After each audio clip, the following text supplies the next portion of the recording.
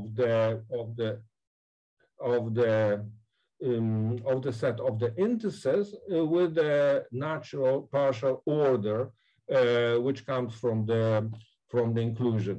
Okay, and using this notation, we can look at the somewhat uh, more complicated picture. So we take the hypercube of uh, dimension four, we label its uh, its vertices the way that uh, that I did in the previous case. However, here this is a, a bit more complicated, and we have the natural diagram which uh, presents the um, which presents the the inclusion. But all the way, if I take the the action of the C star on the product, which is of which is diagonal, then actually these arrows here are the short orbits. So there are the edges uh, on this hypercube. There are the lines uh, with respect to the standard uh, product polarization of this product of P1s, but there are also the orbits of this diagonal action. Okay, and now uh, what would be the generalization of our picture of this three-dimensional hypercube? So here, uh, we have um, sections. So the section of the uh, partial order set will be a division into two subsets uh, so that uh, the obvious uh, relation induced between each of these um, mm, uh, elements in the subset is preserved. So these are particular sections. So here one is in yellow, the other is I, I think that the color is called lime. Uh, but of course, you have many more sections than that, but I choose those actually.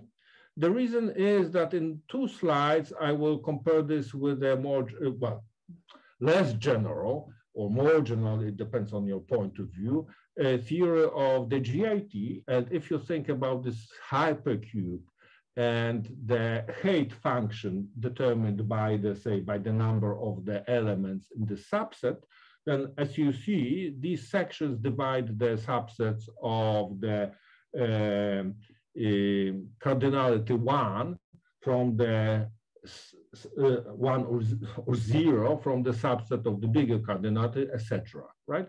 And this is uh, another uh, notion here. You have a semi-section. So a semi-section is a division into three, uh, three subsets. So you have in between, you have the set, which is also uh, uh, sets of elements in this, in this uh, set, which is in agreement with this relation, which is over here.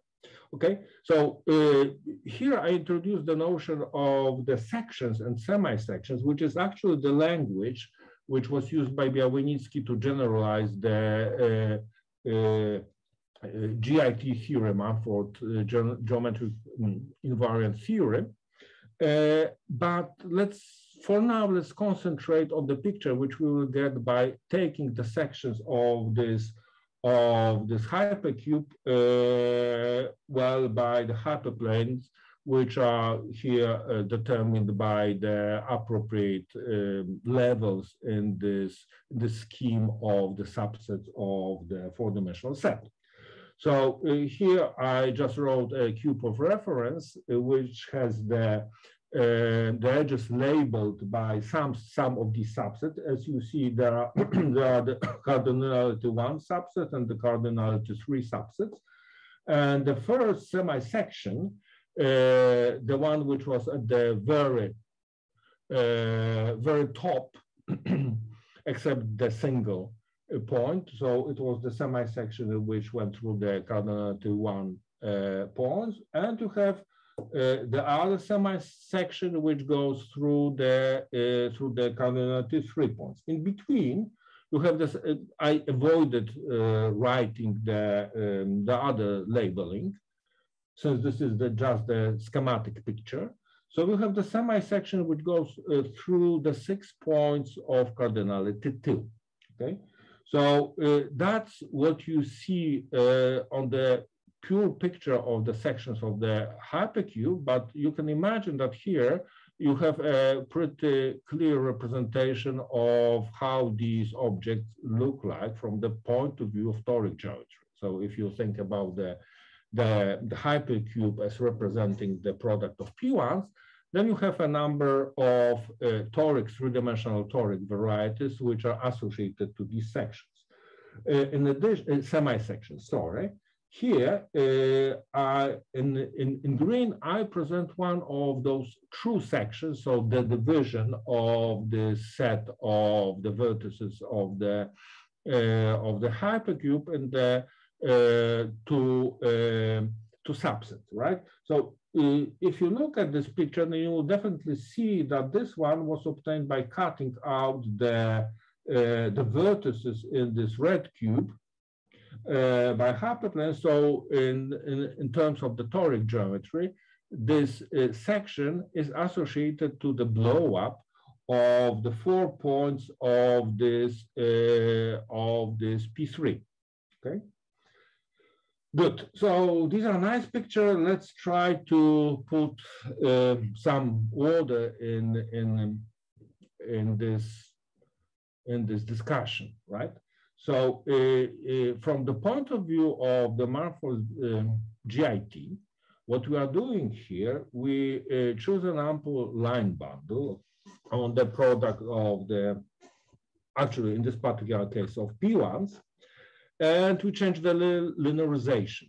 So in this particular instance, since we had this height function, uh, which was associated to the number of the vertices, it's not hard to guess that actually we choose a, a product of all of ones or, or rather product of the pullbacks of all ones on this, on this product as our polarization.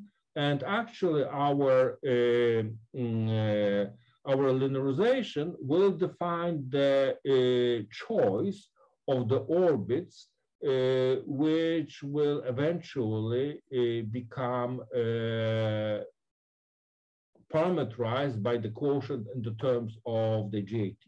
From the point of view of this diagram, right, so this is just the schematic view, from the point of view of this diagram, the important thing is where, uh, where the, uh, the position of the fixed point set components.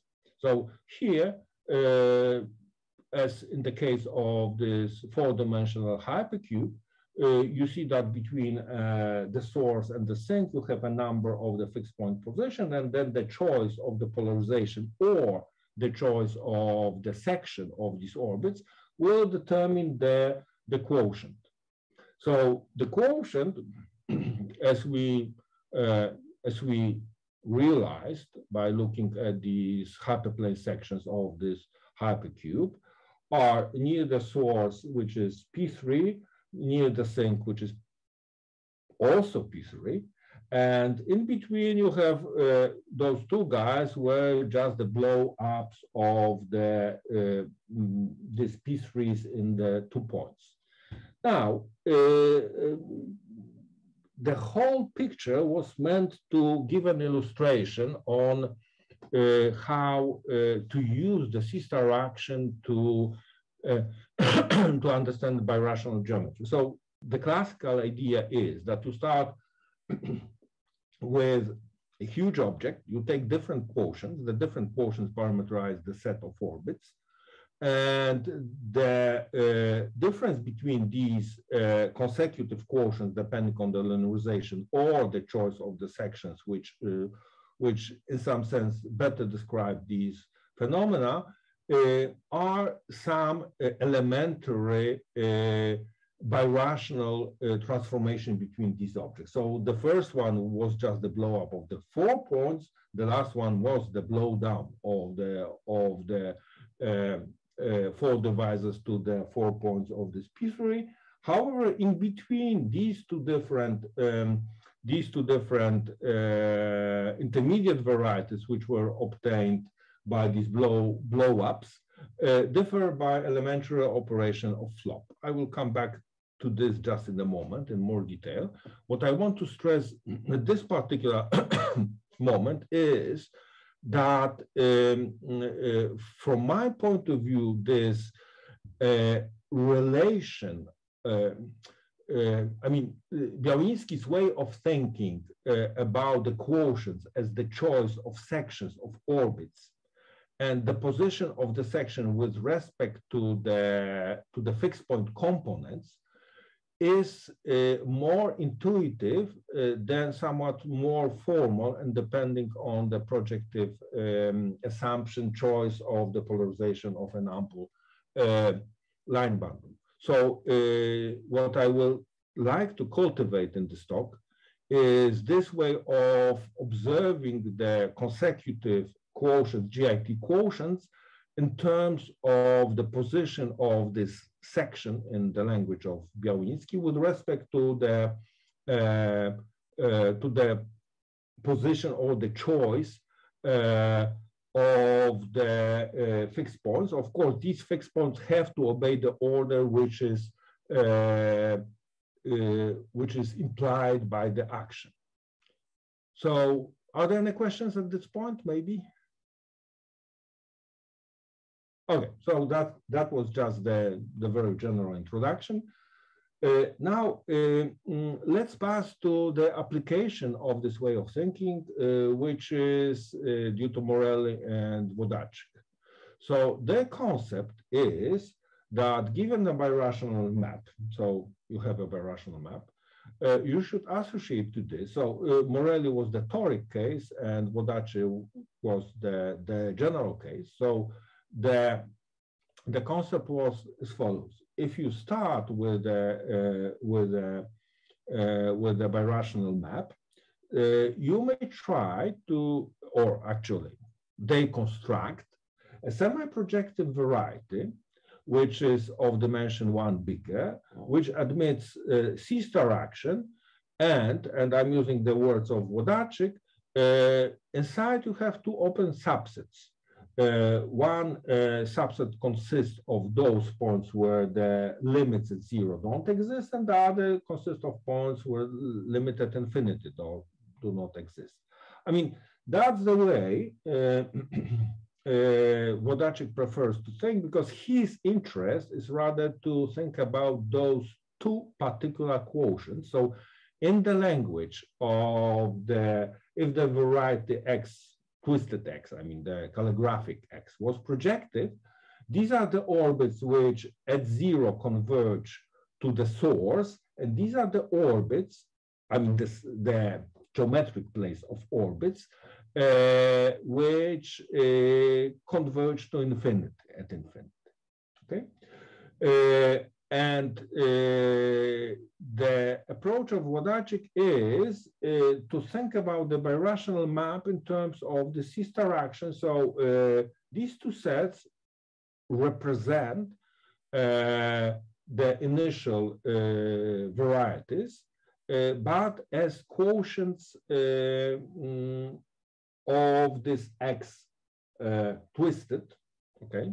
Quotient defined over these two open subsets. So the set of orbits are actually represented by these by these varieties. So the construction of this uh, uh, quasi-projective variety is, well, I would say a bit tricky. So I, of course, I skip it since uh, I promised that the uh, that the talk will be non-technical. Uh, the important thing is that in the language of Uh, BBC decomposition, uh, I mean not BB, BB cell the decomposition. Uh, uh, these uh, the, these the closures of these two sets in terms of a variety, if the variety X twisted was compact, were two extreme cell, cells in terms of this decomposition. I will not introduce the decomposition, but I guess most of the of the participants know what I mean. Okay, and uh, uh, the major uh, achievement here is that after you construct this uh, this variety with the C-star action, you, you can actually make it smooth by taking equivariant resolution. And this, in fact, was uh, mm, used by Włodarczyk to prove the factorization theorem.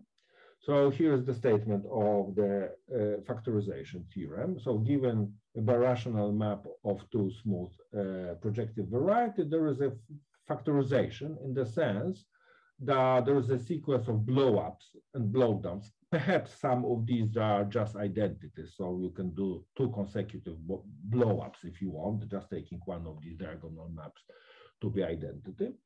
Uh, which factors this, okay? And uh, the idea of the proof actually goes to this cobordism uh, construction.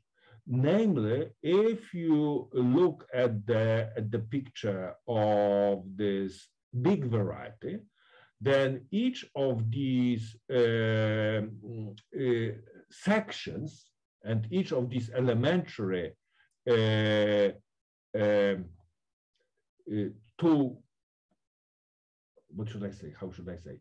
Uh, two consecutive uh, different quotients in our sections can be resolved in terms of these blowups. Let's do, do the schematic picture of this, okay? So here is the, what happens. We have one um, uh, inner fixed point. So we have some uh, orbits which converge to this inner point at infinity and uh, some orbits which diverge from this uh, from this fixed point. And of course, we have general sections. Then if uh, I mean, we have general orbits which are as usually orange in this talk, okay? So uh, now uh, we have two sections which are associated to GIT quotients. Actually, the quotient in the middle also is well defined, but usually it's much worse. It has a bad singular point. So you have two uh, two varieties which say parameterize uh, parameterize orbit in a nice way, and both uh, via the um, uh, either inclusion of these sets over which this quotient is defined. Or here, as you see, by taking the limit points of respective orbits, uh, both of these uh, uh, are mapped to this uh, mm, quotient which is associated to the semi-section, right? So here you have the, the picture of these quotients in terms of the sections, and here you have the relation between them, which uh, boils down to uh, from relatively good varieties uh, uh, with relatively good singularities to some bad singularity at the cost of, well, um, having this set over which this quotient being bigger, right? So what is the idea of the elementary uh, mm, I mean, elementary birational operation is finding uh, the blow up, and this is actually technically done by, by Włodarczyk in terms of the weighted blow ups. But if you look at this blow up, I try to uh, make the picture, at least schematically, correct in the sense that, of course, over this orange uh, set, which parameterizes the general orbits, then all these objects are the same. Here you have the blue orbits, which are parameterized by this blue, blue interval. You have this red orbits, which are parameterized by the red interval. This point is a bit bad point, but here instead of this bad point, we uh, uh, we actually uh, put something which is much bigger than both of these uh, blue, blue and red sets. Namely, this is essentially said, said theoretically, this is a product of these two things. I mean, this a typical case is the Atiyah uh, quadratic singularity. So you resolve the quadratic singularity and you obtain just P1 cross P1. But what I want to stress here is that at this point, we have actually an object which parameterizes uh, not really the orbits, but uh, unions of orbits. Namely, let me stress how, how should you look at this picture well, let's put it in black, right? So if you take this particular point, then this parameterizes one orbit which converges and the other orbit which diverges. So in some sense, this object has also the meaning in terms of the of quotients, although it's not quotient in the in the GIT sense. And I will come back to this just in a moment. Uh, so uh, the um, uh, the Włodarczyk proof of the uh, of the factorization theorem is essentially the uh, construction of the cobordism plus resolution of this elementary uh, birational transformations, which are somehow already nicely ordered by the by the cobordism. Okay. Good. So how does it work in our in our particular case? Well, uh, here this is pretty uh, well, at least in dimension three you can describe it. So we had a, a number of the polytopes. We, we started with the with the tetrahedra, then we cut out from the tetrahedra, we cut out the uh, the vertices by slicing off uh, little tet tetrahedra. Then if we cut out, and here, here are these uh, rectangles, that is you blow up the, the lines, the strict transforms of lines on this blow up of the P, P3, uh, you will obtain a resolution, a variety which resolves uh, this, um, uh, not only the rational map, uh, but also it resolves all of the objects which are in between. However, at this point, I would like to focus on the statement which is here on the slide, namely, in general, uh, this construction works also for arbitrary,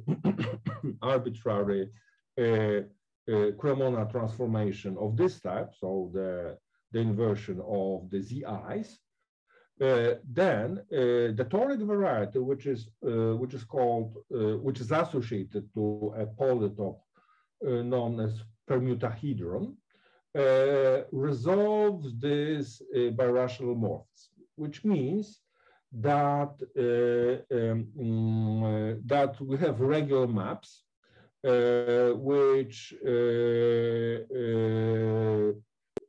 go to each of the of the ends of this of this um, of this classical Cremona uh, transformation.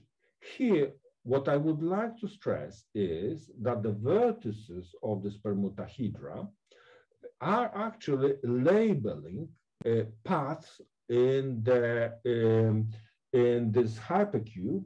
So uh, ordered uh, uh path along the edges, starting from the empty set, which was the source, and ending at the sink, which was labeled by the uh, by the complete set zero of zero to n, right? So in some sense, the vertices uh, remember uh, the the orbits uh, of this original action, the shortest orbits and the path on this uh, hypercube, which were which was obtained by the union of the orbits. And here I stole, this is the source, sources Wikipedia, and the author is Tilman Piesk. I uh, stole the picture of the permutahedron in dimension uh, three, so, and as it turns out, there are, uh, uh, there are, at least two different labelings. So this is a bad lab labeling of, of the vertices. This is a good labeling of these vertices. Uh, what, what's the difference? Well, uh, here in the good labeling, uh, you have uh, four hexagon. So the hexagon is all eventually what will you get after cutting out uh, the vertices of the tetrahedron and then blowing up or cutting out the edges of these uh, these squares over here. So the four of these start with the same number and four like this one end with the same number. Also uh, here, uh, if you if you see the um, the colors of the edges of this tetrahedron, uh, I'm sorry, of this per, permutahedron, then actually they represent the same classes of curves uh, in uh, the resulting variety. For example, if you if you contract the red curves, then you will collapse it into one of these uh, of these blowups. Okay, so in particular, you have to uh, you have a description, combinatorial description, uh, and actual elementary geometric description of this res resolution of this uh, of this rational map in dimension three. Okay. Eric, can I ask a short question? Sure. Just to clarify, so this uh, hexagons basically correspond to del Pezzo surface of degree six, which maps to points, yeah? Uh, yes, I mean, you have the whole inductive structure on, on these yeah. guys, right? I mean, which is essentially the sub-choice of the of this inversion, right? So okay. Yeah. So mm, mm, okay, I'm I will not actually concentrate on of this. This is rather okay, okay, okay. an example from which I would like now to well, okay, but, but what I would like to stress here that we have the whole um, uh, network of these polytopes, which are, which are also associated to the to the quotients, right? So these were the uh, the quotients, uh, say, of the lowest level. These were those which were obtained by blowing up these guys, right? That was the flip. This thing. Oops, oops. I'm sorry. I'm sorry. I'm sorry. Okay, maybe I should. So that's the flop. These are the blow-ups. Okay. So uh, what you can see here is that this, um, this permutahedron actually is not only the resolution of, uh, of the original map. So the rational map was from here to here, but it also controls all the objects in between. So the whole thing is, I mean, that was a very long introduction, but as I told you, this is the uh, just a, a, talk, a propaganda talk. So now I will uh, pass to more concrete stuff, right? So uh, this permutahedron has, as I said, this universal property that it dominates all of the quotients, right? And this, in general, this is the property of the Kapranov's-Chow quotient, right? So the permutahedron is actually the Kapranov-Chow quotient. So the universal object which uh, parameterizes not only the orbits, but parameterizes unions of the orbits. And uh, actually, up to normalization, you can identify with the, with the inverse limit of the system of the GIT quotients, okay? So this is a very good candidate for the strong factorization conjecture. So what's the strong factorization conjecture? The factorization conjecture proved by Włodarczyk was about a sequence of blowups and blowdowns in whatever order. Uh, the strong factorization conjecture says that there is one object in between, which is obtained by consecutive blowups. So these guys here these are blowups. These are blowups. And it dominates both sides, okay? Uh, okay, so what about it? Well, it's not proof, it's still a conjecture. Uh, and uh, nevertheless, I would like to ask two questions regarding this conjecture.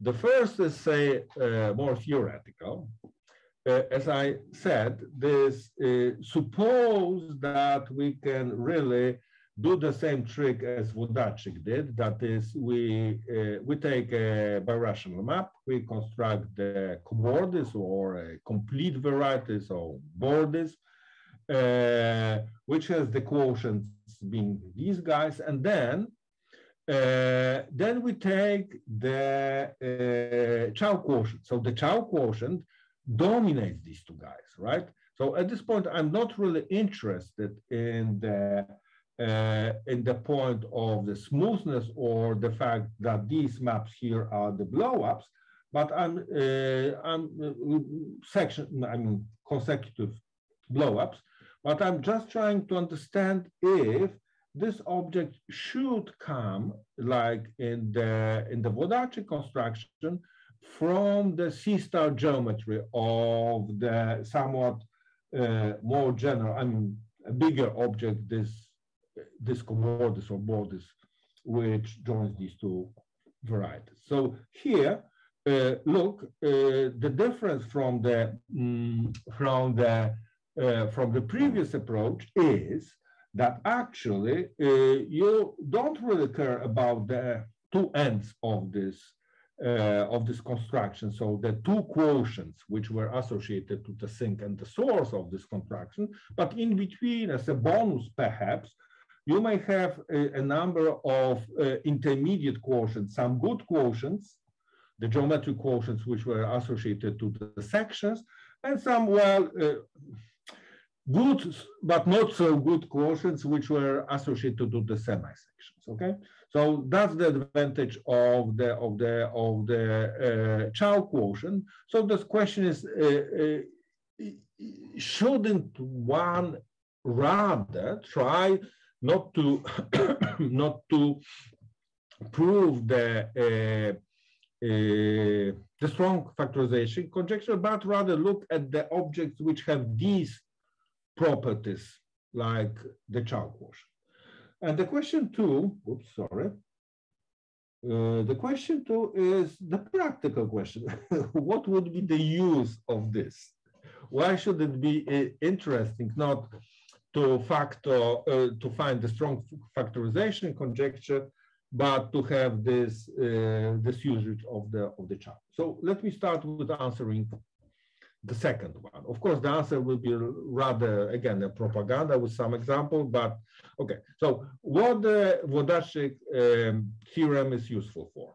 I mean, it's a great tool to prove that certain properties of the varieties are invariant with respect to, of smooth varieties, I'm sorry, are invariant with respect to the, uh, to the birational morphism. If you can prove that the property is preserved under the smooth blow up, blow down, then surely by the Włodarczyk theorem, it is preserved by the birational, by the birational map. Okay, that's nice. Uh, uh, however, in many situations, uh, we may really want somewhat which goes beyond these uh, general properties. So uh, in many situations, uh, we would like uh, to look at the, the rational map. Uh, well, we can, of course, we can construct the diagonal. I mean, this is a, a proper variety. So suppose that we start with two projective varieties, we take a rational map, then we take the product, we closure uh, the graph of this map, and this is a very nice variety, perfect, right? But this is usually very singular. Okay, so the point is that you would like to understand uh, what is actually the resolution of this object if you want to understand what this map uh, brings, I mean, like the numerical properties. And I will give an example to this. Uh, oops, sorry. Okay, so the first example is a generalization of this very basic example of the Cremona transformation. So uh, the Cremona map, which we discussed in the first part of the talk, was is actually the inversion of diagonal matrices. Okay, uh, this is a classical object, and of course, uh, he, here I gave some description of the resolution of this object in terms of the polytopes. It's a very nice object because everything here is, I mean, given by monomials, so it's great, right? But uh, more generally, you may ask about the inversion of a bigger class of, of matrices, like inversion of all the set of the matrices, then you pass to the projectivization of these, right? And uh, you want to understand what this map is about. And this has some, uh, well, actually many, I think, uh, practical uh, applications because uh, uh, you want to understand, I mean, you take this inversion of matrices, you want to understand, for example, how the cycle, so actually you, you may want to understand, suppose that you have um, a cycle Z which lives here, and you want to understand what is the, the image over here. You understand it as good uh, as you can tell uh, what is the nature of this variety. The, the information that this is just obtained by a sequence of the smooth blowups of this is too little. So you would like really to know what, uh, uh, what this resolution looks like, okay? And uh, here is the, um, the observation. Namely, in this particular instance, the construction of this cobordism is rather straightforward. If you remember how you inverse the, the matrices via the reduction to the echelon form, which is fortunately those of us who have to teach uh, first year students train it every year. I mean, you say you put, if you have matrix n by n, then you put two blocks, right? This is the your matrix, and this is the identity matrix. Then you do the echelon uh, uh, algorithm. If you if, if, you are lucky, that is, if the matrix is invertible, you will get uh, on the left hand side you will get the identity. On the right hand side you will get the inverse of the matrix. Great, okay. But this means that the presentation of an element in the Grassmannian variety of this guy and this guy uh, is the same. That is, this is the same point in the Grassmann variety, right? So, as in our original example of the of the uh, of the Cremona transformation, if I multiply, say, uh, this part by t, where t is my coordinate, so whoop, so I'm taking the action. Uh, I take the T on A I. This is T A I. So that's a very nice action. This is actually the action which we used for the diagonal matrices. So here, of course, you will obtain the map uh, by the same argument from the tangent space at the uh, at the uh, zero. Uh, I'm sorry, one zero i, right? I'm sorry, to the tangent map uh, the one zero, okay? Right, but this means that the argument which we did for the uh, for the case of the um, of the permutahedron should somehow work here as well. There might be uh, technically more involved, but they should. So what you should start with, you should start with the, uh, with, with the Grassmannian variety of this type. You should consider the action which I just raised, right? Then you should lo look at the fixed points of these. You should look at the orbits. Then you should look at the uh, at the Chow quotient for these orbits. Okay, uh, right?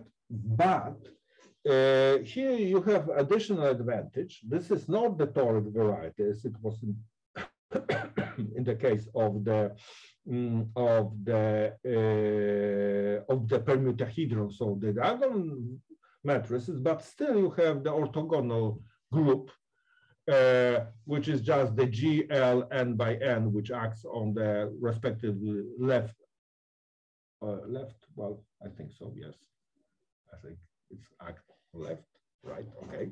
You multiply this way, matrices. Uh, uh, and so your construction is actually invariant with respect to, to the action of this group. So in particular, uh, and this is one of the results which I want to want to refer to, uh, um, for the application reason, the question regarding the inversion of symmetric matrices is, is very interesting.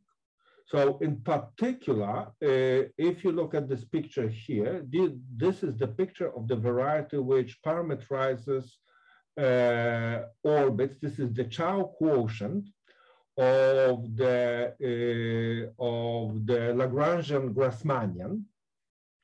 And as you see, um, it looks very much like the hexagon, which parameterizes the diagonals, except uh, that you have extra poles and the hexagon actually uh, was a cheap guy. Uh, well, it had only two edges and here at each point you have five edges because the actual the quotient will be of dimension five. And the hexagon or the permutahedron was uh, had vertices which were parameterized by the parameterization uh, by the permutations. I'm sorry, were labeled by the permutations. Here you have flags. So the flags uh, in the case of the diagonal uh, matrices were of step one, here we allow also the flags of step two. So the uh, vertices of this permutahedron are actually coming from the diagonal, uh, but you have extra uh, points which are coming from the flags uh, which allow also of the step two. And here, actually, to describe this object, we use the fact that uh, the action of this orthogonal group on the space of orbits uh, is understandable in the sense that if you would take the Cartan torus into inside this, uh, this orthogonal group, so the group which permutes with the action of the C star, uh, then we, we can understand what are the orbits which are fixed by this action. So there are actually there are the points on the Chow quotient, which are the unions of orbits which consist of lines and conics on this on this uh, uh, on this Grassmann variety. Okay, so in particular, the bottom line is that using this method, using actually the information which comes from the Chow quotient, you can understand this variety because once you have the picture like this, this is the GKM graph, of Goresky, Kottwitz, MacPherson, you can put the whole machinery of the K theory or of the equivariant K theory or equivariant cohomology, and you can understand a lot of things which regard this variety which resolves this rational map, and therefore you can understand this rational map. Okay, so that was an attempt to justify uh, the or that was an attempt to answer the question two. So to justify why uh, using the Chow quotients of a board is associated to uh, a map of uh, a rational map of varieties could be useful for particular applications. So that's the motivation. Now let's pass to question A. question one, okay? So here I would like to note um, two things. The first one is a basic in the GIT theory. So uh, says, uh, if you want to find a, um, a quotient, you should choose uh, you should choose uh, an ample line bundle, and then you choose a linearization. So the linearization is, is the lift up of the action uh, on the variety to the total space of the line bundle. And then uh, you obtain a, a, a, set, which you will call the set of semi-stable points, such that you have a regular morphism, this is an open set, that, uh, to the projective spectrum of the set of sections which are invariant with respect to this linearization. So this mu stands for the for the linearization. So if you think about it as, as some grading, so this is the uh, grade grade zero sections in this um, in this multiple of, of, this multiples of the uh, ample line moduli. So that's the GIT, right? Uh, on the other hand, you have yet another abbreviation, three-letter abbreviation, like CIA, KGB. Uh, here you have the MDS. So MDS uh, stands for the Mori Dream, uh, Mori Dream space. So that, that was the geometric invariant theory, and the Mori Dream space is an idea of uh, looking at the uh, small q factorial modifications. So uh, the guys which are essentially isomorphic to the original variety in codimension one, and uh, looking at them in terms of the linear systems. So if, whoops, I'm sorry, I didn't want to show it so far. So if you um, if you take say a, a, variety which I would call X flat, uh, which has good properties. Here I'm. I'm really not considering the technical stuff. Uh, then if you take a big line bundle, uh, so that you can produce a projective spectrum of the system of multiplicity of sections of the multiplicities of the big bundle, then the object for appropriate good choice of this of this line bundle will be actually uh, the SQM, so small q factorial modification of the original one. So we will obtain a birational map, which will be actually isomorphism in codimension one. Okay, so that's one three-letter theory. That's another three-letter theory. Let's put them together. Okay. So let's start with the, uh, here I add this equalized. The equalized means that if you, in particular, it means that uh, the, the action on the tangent uh, points at the sink and the source have the weights plus minus one, which boils down to the fact that if you blow up the sink and the source, okay, so these are these, these will be the parameterizing space actually for the beginning and the end orbits, right? So if you blow if you blow them up, then you will obtain the um, uh, the divisors which are the fixed points of this action. Okay, so suppose that we have a nice action on a projective variety. We blow the sink and the source, and then we have a nice action uh, which has the sink and the source, which are divisors, okay? So this is a very nice situation. This is what you would expect to, to get after the projective, projective version of your cobordism. That's why sometimes we would call it just borders, okay? Then uh, you have the sink and the source, which are the divisors, which I call respectively E naught and infinity. Then, uh, if you look at the general orbit, then you will notice that the sections invariant with respect to the linearization of the, of the line bundle can be actually understood as the sections which vanish with the degree which is here explicitly written at the sink, and the degree, which is explicitly written at the source. This just boils down to noticing that if you take, so this is your P1, right? This is not really P1 because the, these are the sections of H0 of say O of M, right? Then if you choose the linearization so that this is the invariant uh, part, so in particular, this means that the degree D uh, uh, binary forms are invariant with respect to this linearization, then these sections have actually the multiplicity, if this is M, then you can calculate the multiplicity over here and the multiplicity over here. So the multiplicity over here will be exactly M minus D, and here will be exactly d minus m, if, if I'm not mistaken. Um, bo, no, the other way around. I'm sorry. No. So here it will be multiplicity d because these are the polynomials of degree d. And here will be the m minus d. Okay, now it's okay.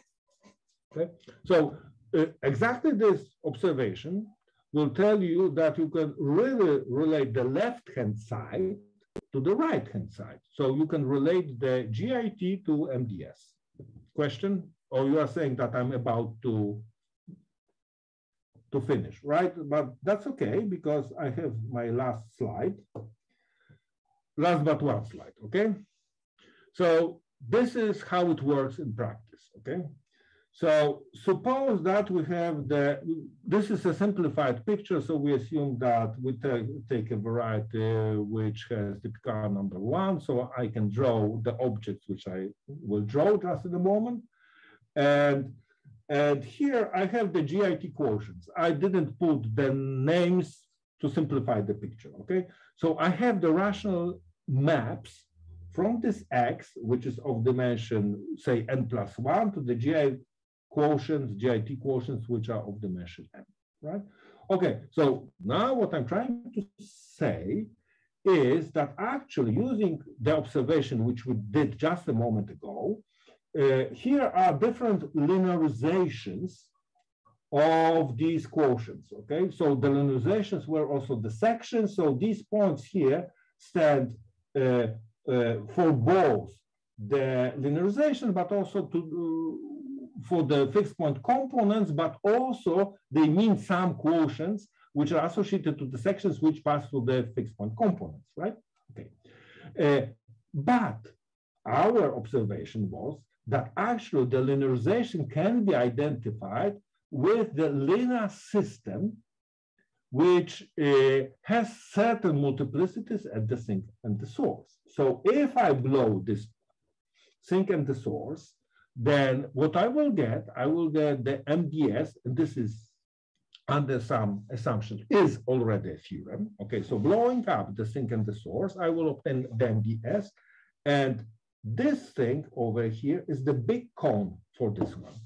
And this is the division into the chambers associated to the small q factorial modification. So among the small q factorial modifications, for example, you have this chamber will describe a variety which has a regular map onto the uh, quotient, so it will be either P1 bundle or P1 fibration, although this guy is definitely much more complicated, right?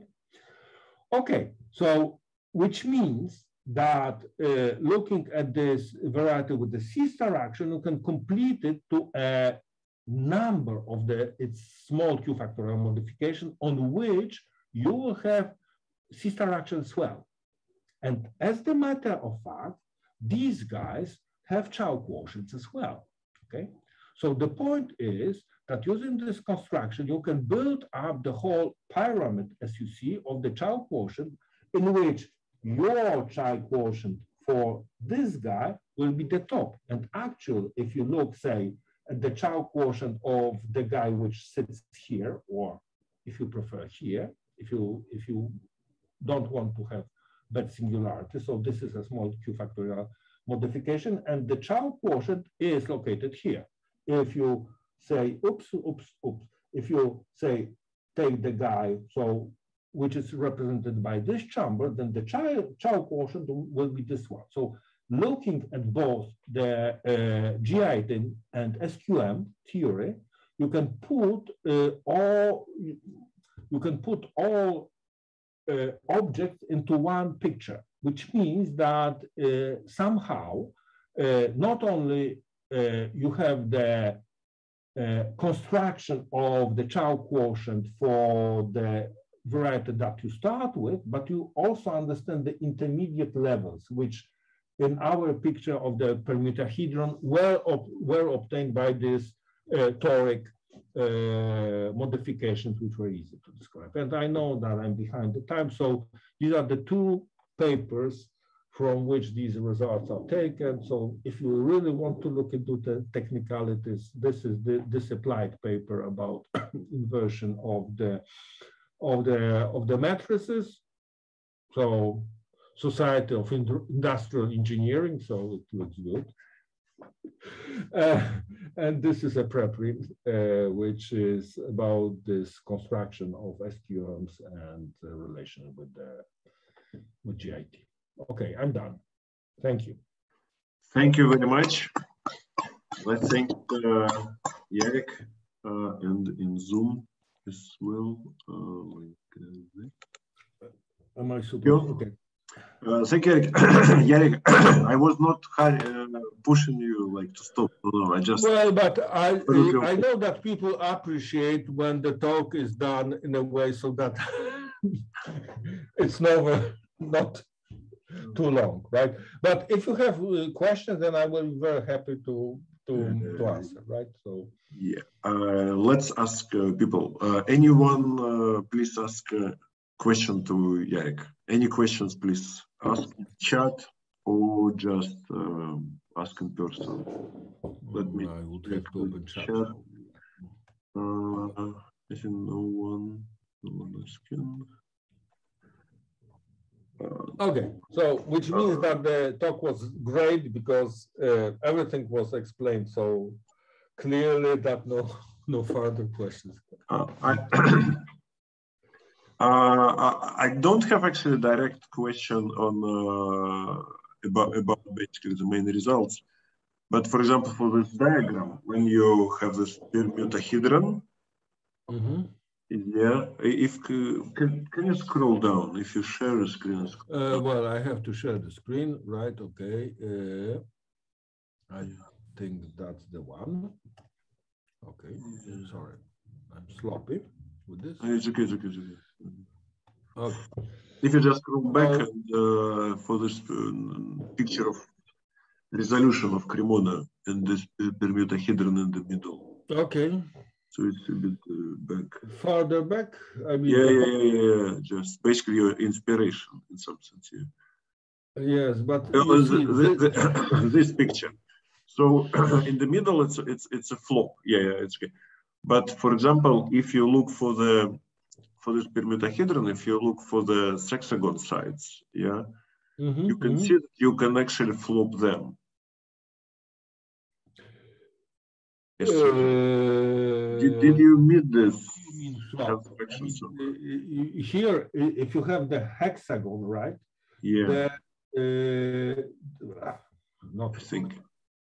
Yeah, it looks like one. It looks like a hexagon. Uh, so uh, the hexagon uh, has two types of, so exactly. the hexagon is actually the P2 blown up in two, three, three points. Okay, so exactly. So essentially, if you if you look at the at the uh, the maps which go down to the to the sink and to, to, to the source, then you have the, the distinguished curves which are uh, to contract first and then those which you are supposed to contract. Okay, let me go back. Let me go back because this yeah, one, this one uh -huh. is better. Right? Yeah, yeah, yeah, yeah, yeah, yeah. Okay, so this is the bad labeling. This is good labeling. Okay, uh -huh. so if you if you look over here, right, this will get contracted to the vertex of the tetrahedron labeled yeah. by three. Okay. Uh -huh. So here you have the two-step contraction. So the first step contraction, let me understand what, what should I do? I should contract the, uh, the red stuff over here. And mm -hmm. this is the blow up uh, to the uh, to the P3 with uh, blow down to the P3 with three points blown down, and then uh, you will contract the, the other guys, right? If you go, if you, if you, if you look at this, uh, at this hexagon, then you will see that this uh, has the two as the last digit, which means that this will be the contraction to the other, to the other uh, P2. I see, I see, I see, I see. Uh -huh. But you see, the whole thing is if you want to understand this in the combinatorial way, this is the grand, great language, right? Of course. But yeah, somehow yeah, yeah, it's better, sometimes it's better to withdraw and look at from the, so uh, uh, for example, this um, attitude to, to find a resolution for the symmetric matrices. So we, we had the picture more or less clearly understood pretty soon, but then to go through in the end, through all the combinatorics, it's really pretty messy. Okay. So. okay, okay. good. Thank you, Eric. Uh, any uh, any other questions to Yaroslav? No. Okay. If no, let's thank uh, Yaroslav again. Thank you. Yeah. I'm glad. Yeah. Okay. So Thank I thank will you. do this. Yeah, yeah, yeah. Thank you, Yaroslav. Okay. So thanks uh, everyone, and uh, basically see uh, everyone on on Thursday, on uh, Thursday on the next uh, vaccine. Okay. Okay. Thank you. Bye bye. Bye. Thank you, Vanya. See you later. I hope. bye bye.